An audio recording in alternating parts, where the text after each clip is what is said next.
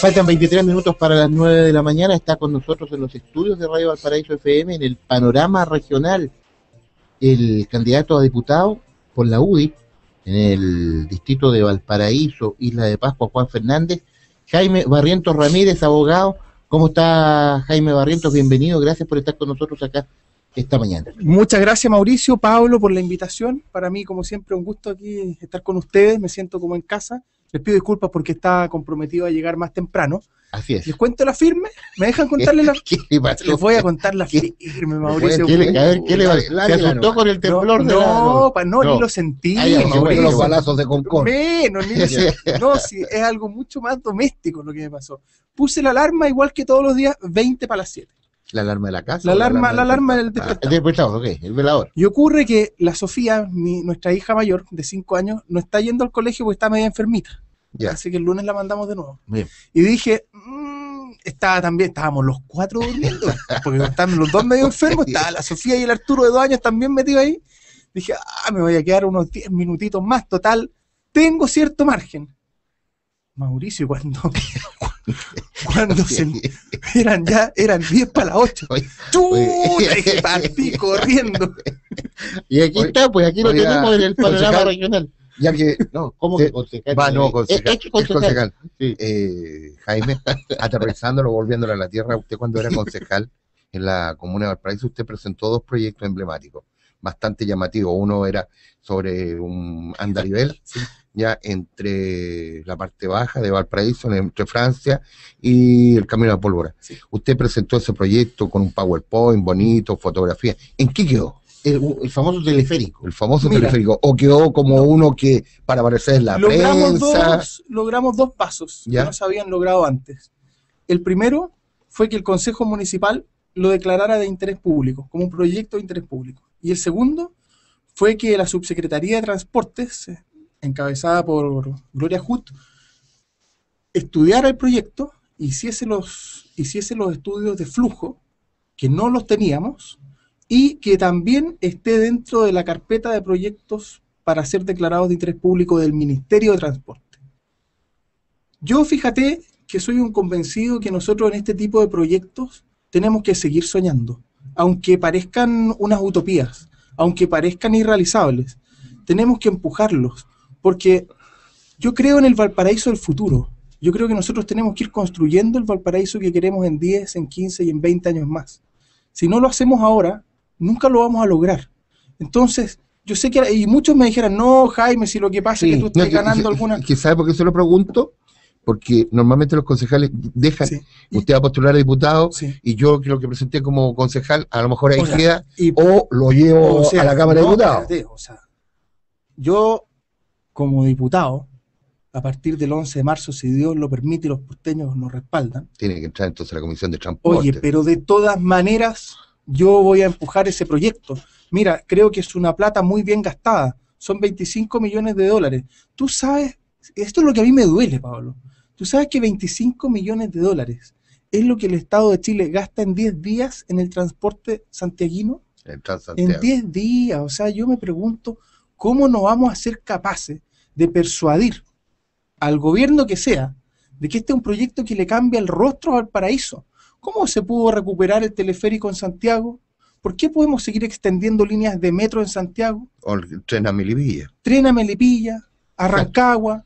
Oye, ¿y cuándo nosotros? ¿Cuándo Valparaíso? Esa es la voz que nosotros queremos oiga, pero levantar. importante, fíjese, Jaime, lo que usted está hablando, porque este tema de luchar por eh, anhelar cambios para, para eso. Porque claro, usted está desarrollando este tema que tal vez con este proyecto usted para muchos queda como un tipo que, que está soñando demasiado, que también que está, está medio loquito con, con, con un proyecto de este tipo. Y andaba eufórico cuando tenía todo el PowerPoint. Ya, Pero- y nosotros se lo miramos a un piso, dos pisos y llegar al paraíso tercer pero- piso. Pero Que fíjese, conectaría a mucha gente con Curauma. Pero sí, lo que le falta a los porteños es eso, Jaime. Soñar. Yo creo que tenemos que soñar en grande, Sí. creernos el cuento. Sí. Somos Bueno. una ciudad. Mira, este metrocable es Ya. una verdadera carretera aérea. Y es el, el mismo concepto que había detrás del ascensor. El mismo, Claro. el mismo. Solo que ahora, obviamente, Oye, tiene un recorrido de yo me 20 acuerdo. kilómetros. Yo me acuerdo de dos Claro. soñadores. Uno, Baburiza, Por supuesto. Que pensó en Valparaíso y el otro Francisco Vergara. Así es. Claro. Así es. Yo, yo, yo invito a, a los porteños a que soñemos. Mira, en, en Placilla y Curauma hoy día calculamos que hay alrededor de 50.000 personas. 50.000 personas. Una comuna. O sea, es, es el tamaño, como tú bien dices, de una comuna completa. ¿Tú sabes lo que significaría tener una estación intermodal en Barón, donde además probablemente se construya el famoso borde, paseo borde costero, conectado con el hospital Van Buren, otra estación, y luego subir a la parte alta de Valparaíso, camino a la pólvora, y luego terminar con una estación cerca de la Universidad Católica de Valparaíso en Curauma? Mira, eso sería un proyecto que beneficiaría pero a miles de personas y que les cambiaría la vida. ¿Tú sabes cuánto Hablando se demora? casi 70 mil personas. eh, ¿Tú promedio. sabes cuánto se demora un placillano en llegar al centro del paraíso o en regresar a su casa? ¿Cuánto tiene que esperar por la micro o por el colectivo? Es como si fuera Santiago. Oye, es algo Sí. que, que no tiene ni- no, no resiste No. lógica. Entonces, ¿por qué no somos innovadores? Un transporte limpio, un transporte que no, que no afecta a nadie, que no congestiona la ciudad. ¿Por qué no soñamos con ese tipo de proyectos? Yo la verdad es que me declaro soñador y voy a empujar estos grandes sueños para Valparaíso. Yo creo que cuando nos decidimos juntos a levantar una voz, somos capaces de lograr la concreción de estas grandes obras. Oiga, Jaime Barriento, usted mencionó ahí el sector varón. El tema del, del mall varón que ha sido ya de, de tan larga data, se lo comentamos y queremos también eh, analizar un poco desde su perspectiva este tema, porque han ocurrido hechos esta semana, como estos alcances que hizo la Contraloría respecto de los accesos y el acceso a, vías troncales de- del, del mall. Por otro lado, surgieron de nuevo los eh, opositores a este proyecto. En uno de nuestros programas tuvimos hemos tenido a las dos caras, al gerente del Mall Plaza, a Cristian Somarriba, y por otro lado a la, a la voz de los ciudadanos, un, un hombre que también ha participado en diversos movimientos como Arturo Alejandro Mitchell. Cuando uno escucha las dos partes, eh, uno pareciera que está, está en otro momento o, o Están en otro- dimensiones distintas. Exactamente como la dimensión desconocida, porque hablan de realidades distintas. El gerente dice que el tema sigue igual, que se está trabajando, que se están instalando faenas, y por otra parte los eh, contrarios al MOL plantean que es un tema muy importante que incluso se calificó ahí con un término bastante bastante despreciativo hacia el gerente de, de que no conoce la realidad en la cual se está moviendo el gerente del Mall Plaza. Eh, ¿Cuál es su opinión, eh, Jaime, respecto a este tema? A ver, mira, yo creo que hay- déjame dar dos partes de la opinión, O- porque o- creo o en otras palabras, se lo pregunto, ¿en Sí. qué dimensión está usted? Mira, mira, yo trato de ser lo más aterrizado posible. Este- si uno analiza este dictamen con mucha objetividad, ciertamente que es un dictamen medio confuso. ¿ah? Es un dictamen medio confuso que no deja, a mi juicio, a ninguna de las dos partes completamente satisfecha. Porque es el típico dictamen de si bien es cierto, no es menos cierto, y por lo tanto mejor que resuelvan otro. ¿ah? Sí, eso es más o menos lo que, eso es lo que dice el dictamen. ¿ah? Yo, lo leí, claro, o sea, claro.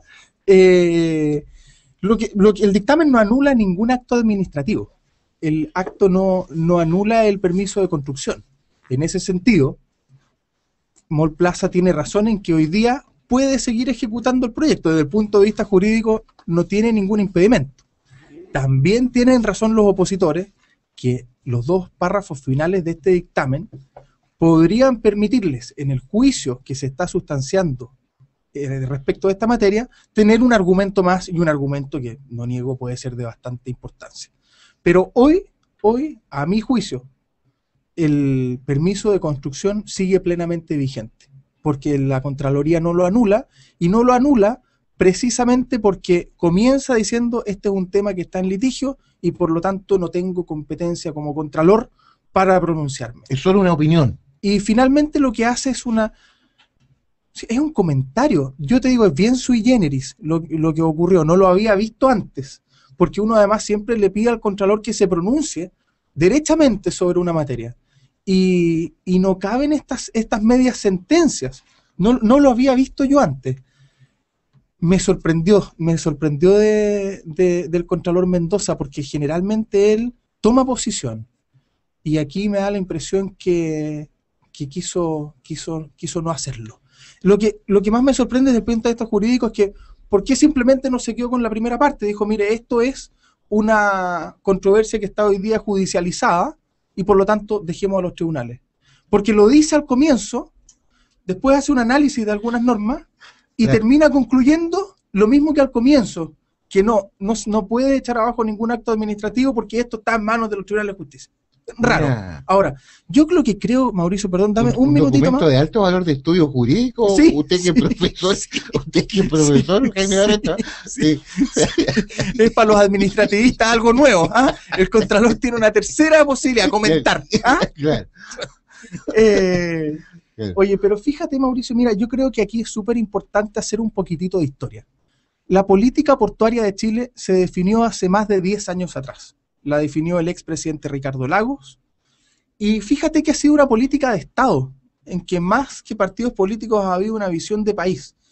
Es una política que luego consolidó la expresidenta Michelle Bachelet y que ha continuado ejecutando este gobierno de Sebastián Piñera. O sea, llevamos a lo menos tres gobiernos que llevan eh, transitando por un camino al país, digamos. Entonces, ¿qué es lo que dice esta política? Dice, vamos a tener dos grandes puertos en la zona central, San Antonio con dos terminales, Valparaíso con dos terminales. Y esto nos debiese, eh, esto nos debiese permitir mantener sostenidamente el crecimiento marítimo portuario durante las próximas tres décadas. Eso dijeron. Y agregaron algo más, algo para los porteños. Dijeron, miren, vamos a abrir una ventana del borde costero para que las personas puedan acceder al mar en Valparaíso, porque hoy día o se van al Parque Juan de Saavedra o se van al otro extremo a Playa Ancha, pero no hay un borde costero amigable con el porteño, con la porteña. Eso lo dijo el expresidente Ricardo Lago, vinieron aquí, se anunció con bombo y platillo, yo no vi a nadie en ese minuto ponerse, a nadie, y luego se comenzó a ejecutar. La expresidenta Michelle Bachelet vino aquí a Valparaíso, firmó el decreto de El concesión, de- Y otorgó unas lucas. Exacto. Pasó unas luquitas Decreto ah, 144. para, poder Buenas mantener- lucas. para poder mantener las áreas verdes. Claro. se abrazaron de nuevo, estuvieron los ministros de Estado aquí, algunos que ya no son ministros de Estado, sino que tienen otros cargos hoy día, también salieron en la foto, pusieron la primera piedra, y ocurre que ahora, oh sorpresa, no les gusta el proyecto. Entonces yo creo que hay que tener un mínimo de consecuencia también, pues Mauricio, o sea, ah, si uno, uno puede darse vuelta a la chaqueta, pero tiene que explicar por qué. Claro, claro. O sea, claro, si yo Sí, eh, aquí no O a hay- lo mejor. Aquí no hay pero- dogma, aquí no hay dogma, esta no es una cuestión de principio. Pero su, es legítimo su cambiar de opinión, pero an- ante estas personas que, que en un momento estaban acá y ahora están en el otro lado, que es un, un- un tema netamente político. yo no quiero juzgarlas, Mauricio, pero creo que nos deben una explicación a todos. Diciendo, mire, yo cambié de opinión por esto, por esto y por esto otro. Ya. Yo creo que eso es legítimo preguntárselo. Y para no rehuir, Mauricio, la, la pregunta, a mí me gusta el proyecto. Es un proyecto. Fíjate que este proyecto, junto al terminal número 2, son más de 500 millones de dólares de inversión en Valparaíso.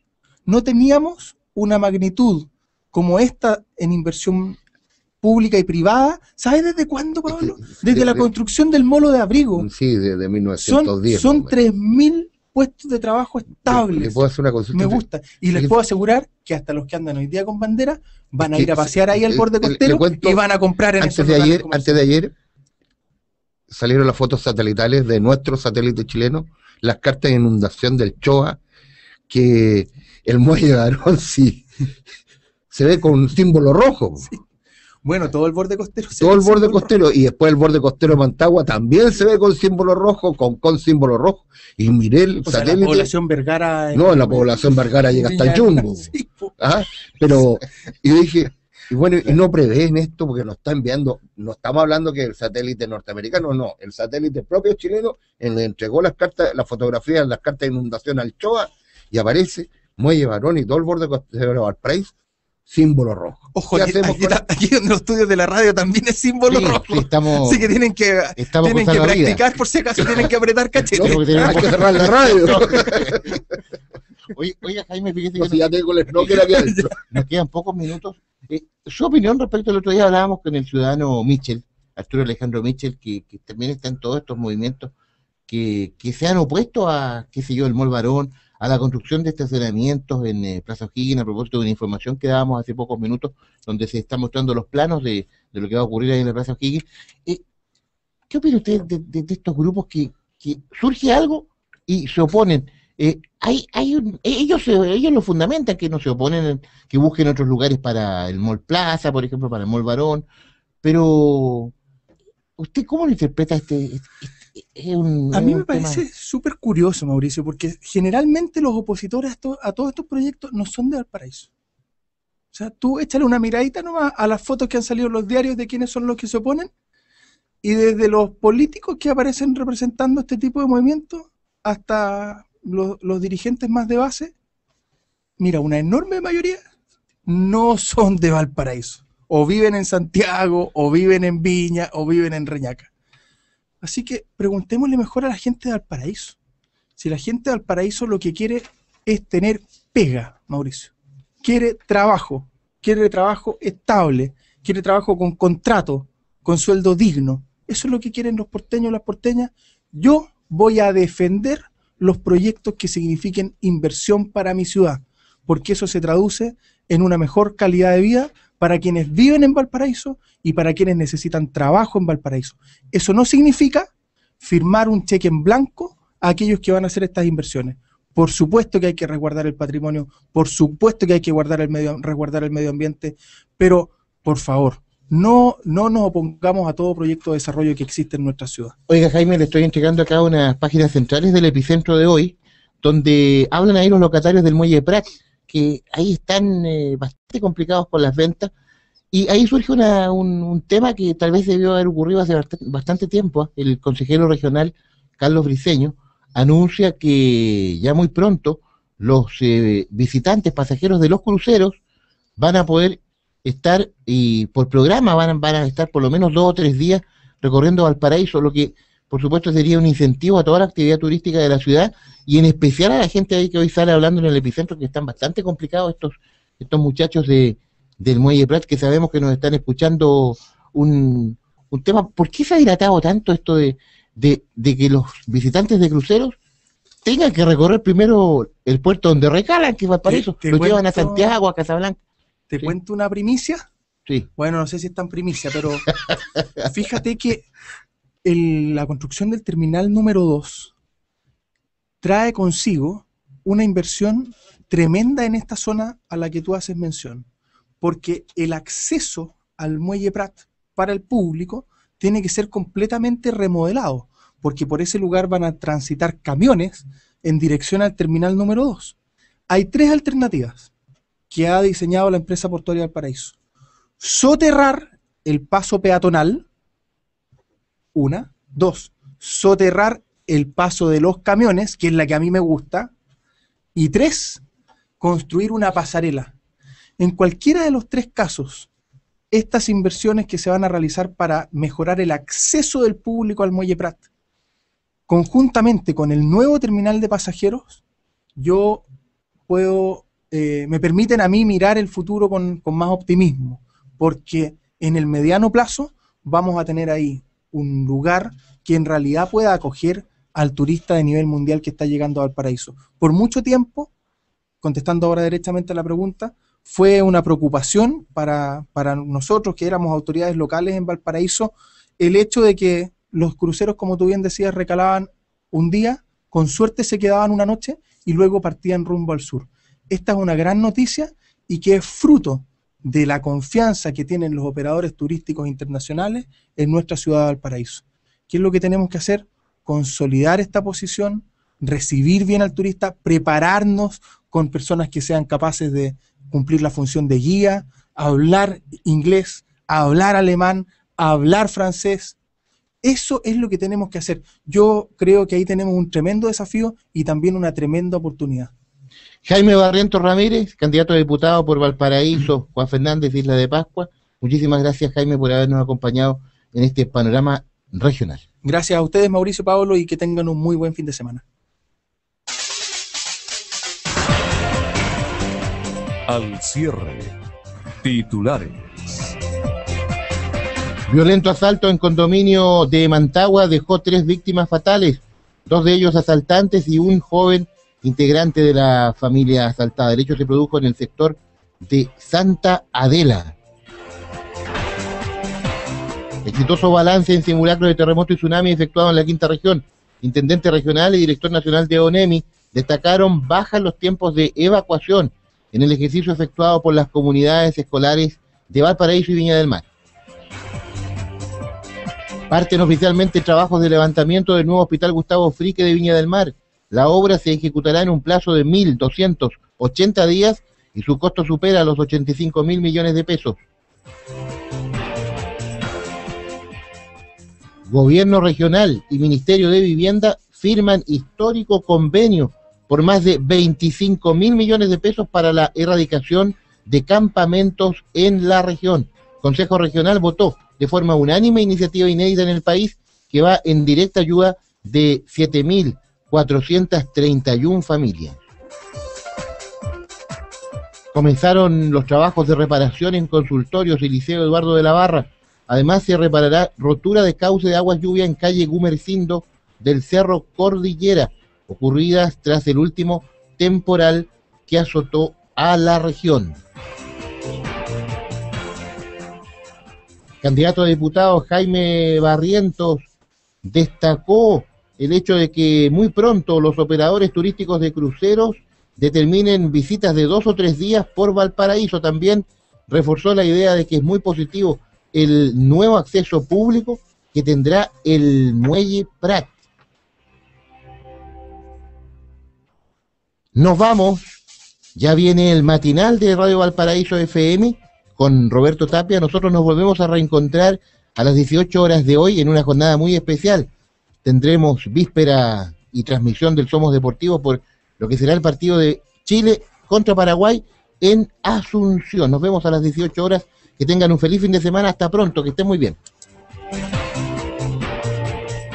Panorama Regional.